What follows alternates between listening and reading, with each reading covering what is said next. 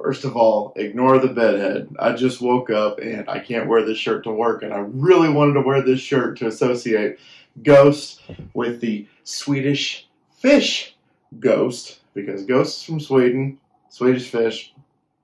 You get the connection. It's, it's too early for this shit. But anyway, so without further ado, let go!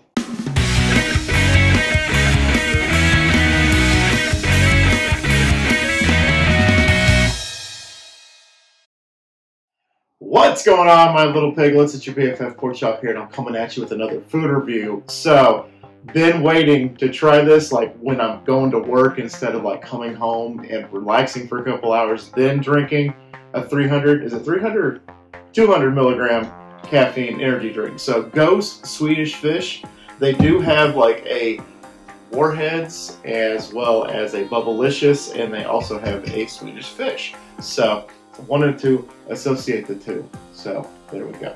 All right, so let's crack this bad boy open. I actually haven't had a Swedish fish since I was a kid, but they have like a sugar, no sugar added alternative that I tried, and I was like, oh yeah, these are just as good when I was a kid. It smells like Swedish, actually. It smells like Windex. so hopefully it doesn't taste like Windex. I mean, I've never tasted Windex, but anyway, so without further ado, salute.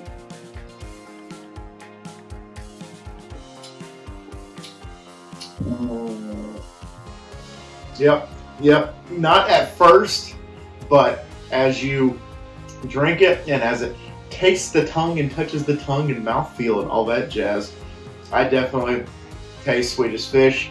Aftertaste is Swedish fish. So, good job, Ghost, on that because that is pretty authentic. That that tastes amazing. I don't know how they do these flavors, man. If somebody can give me like a rundown how Ghost does this, I would be your best friend.